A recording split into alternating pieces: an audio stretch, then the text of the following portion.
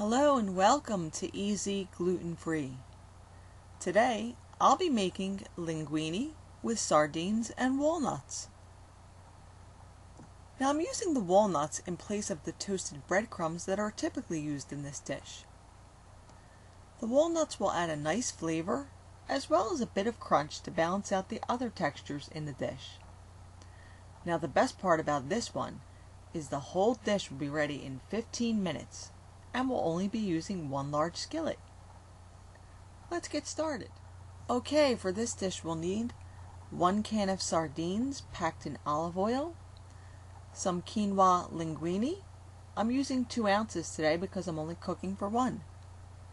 One half of a small onion, one garlic clove, and one serrano pepper, all thinly sliced. Notice how the onions in the dish are sliced to mimic the pasta. That way they'll twirl nicely on the fork. We'll also need a few tablespoons of walnuts, some red pepper flakes, and some Parmigiano Reggiano that you've crumbled using the tip of your knife to break off tiny pieces to mimic about the same size and shape as the walnuts. You'll also need some olive oil and salt. Alright, to make the dish, Add about a tablespoon or so of olive oil to a large skillet. Set it on a medium-high burner. Then add the onion, garlic, and serrano pepper to the pan and saute them for 2 to 3 minutes or until they just start to turn brown. Now add the drained sardines and begin to break them up with your wooden spoon.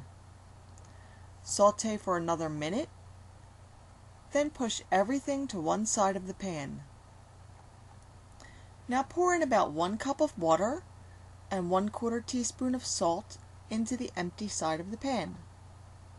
Anchovies could also work well here in place of the salt. Now place the linguine lengthwise across the center of the pan. But whatever you do, don't start stirring them around like crazy here. This is a long pasta shape and we want them to stay that way. So just use the back of your spoon to gently nudge the linguine back and forth to keep them moving as the liquid boils. They'll need to cook for about 7 minutes. Just continue nudging them back and forth to make sure nothing is sticking together. If at any point the pan becomes too dry looking before the pasta is done, just simply add a bit more water. Now once you get about 5 to 6 minutes into this linguine babysitting process, Use your spoon to toss the sardine mixture over onto the side with the pasta. And now you can begin to gently stir everything around until the pasta is cooked to the desired consistency and every strand is nicely coated. Alright, now the dish is ready to plate. Just pile up a nice mound of pasta in the center of your plate before spooning additional sauce over the top. Now sprinkle on the walnuts, those little chunks of Parmigiano Reggiano, and a sprinkle of red pepper flakes.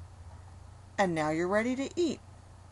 Unless, of course, you're photographing the dish, because then you'd better run out and get yourself some parsley before you take that close-up shot. Seriously, folks, sardines are incredibly good for you. And in this dish, they're incredibly good. So don't be afraid to give this one a try. And for more gluten-free recipes, or to see any of my recipes in print, just visit my blog. See you again soon!